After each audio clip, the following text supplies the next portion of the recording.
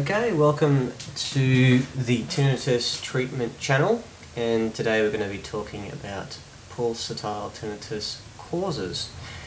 Um, so let's have a look, first of all, at what symptoms um, basically will tell you that you have pulsatile tinnitus. So um, if there is a thumping, a whooshing, rhythmic kind of sound that's in your ears and it is in time with your heartbeat. Um, that's a very common symptom there. And also the main thing that differentiates pulsatile tinnitus from normal tinnitus is that sometimes other people can actually hear this sound, not only yourself. Now, if we're going to look at uh, causes, we'll have a look at a general description first and then um, go into a little more detail about it. Okay, so um, generally what the cause is for pulsatile tinnitus is an irregular blood flow through the blood vessels in the neck and head. And um, this can happen uh, in many, uh, many different ways. And uh, what uh, we've got here is a list of some of the not so well known and I guess well known in medical circles uh, causes that can lead to this happening here.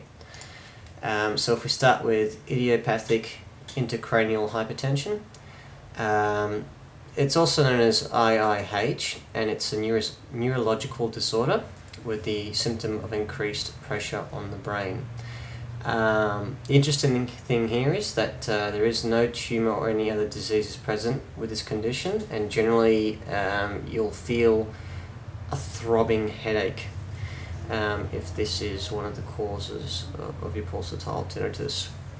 Moving on, we'll have a look at ASVD and um, this is more common in people over the age of 50 because it's um, due to a build of cholesterol or fatty materials that build up on the artery walls. So um, this causes the wall obviously to to harden up and it uh, decreases the blood flow coming through the vessels. So as you can imagine, um, you can sort of connect the dots as to why this causes the pulsatile situation.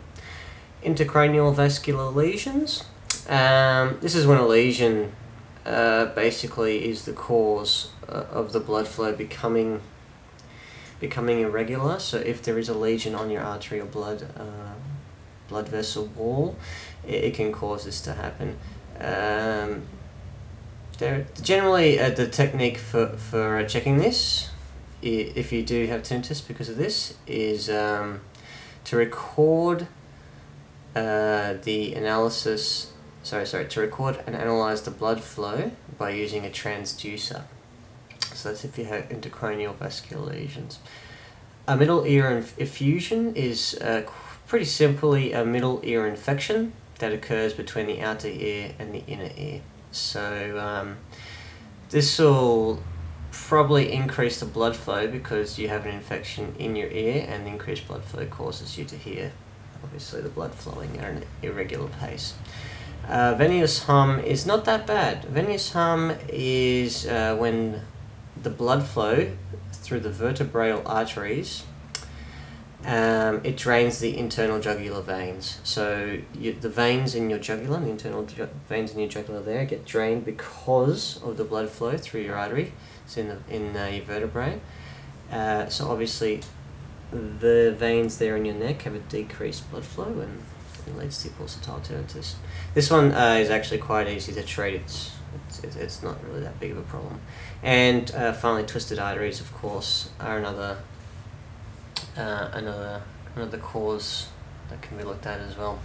So, if uh, you're interested in finding out more information about these causes and also uh, treating them as well, come visit our website. It is www.treatmenttinnitus.org. Um, or you can have a look at our channel here. So have a look at, um, at the other videos we've got on the channel. We've got a treatment, pulsatile tinnitus treatment video. Um, and I've also put a link just in the video to, um, to our pulsatile tinnitus uh, posts on our website as well. So I hope it's been uh, valuable information and we'll see you on the other side.